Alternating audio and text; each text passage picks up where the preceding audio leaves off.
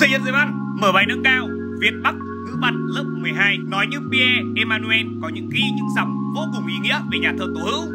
Nhà thi sĩ ấy muốn tự mình là tiếng nói của dân tộc mình. Vậy thì dân tộc ấy có năng khiếu thơ thông qua các nhà thi sĩ, các dân tộc hiện đại đã công nghiệp hóa rồi, đã bị san phẳng bởi những phương tiện tuyên truyền, không còn có một năng khiếu về hình tượng như thế nữa, không còn suối nguồn ở bản thân mình nữa.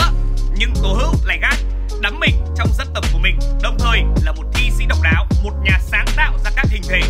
Người ta càng cảm thấy điều đó rõ hơn khi anh nói một cách rất hay về thơ. Tập thơ Việt Bắc chính là một dấu son tiêu biểu cho con đường thơ và con đường cách mạng của thi sĩ tài hoa này. Nói đến tên tuổi của Tố Hữu là ta nhớ đến ông khẳng định tài năng của mình ở phong cách thơ trữ tình chính trị. Trữ tình là bởi giọng điệu thơ thủ thỉ mộc mạc tâm tình là bày tỏ cảm xúc là lưu giữ tình cảm chính trị là bởi con đường thơ của ông song hành với con đường cách mạng viết về những vấn đề lớn lao, trọng đại của dân tộc. Tháng 7 năm 1954 khi chiến dịch Điện Biên Phủ kết thúc, hiệp định Geneva được ký kết, miền Bắc hoàn toàn được giải phóng.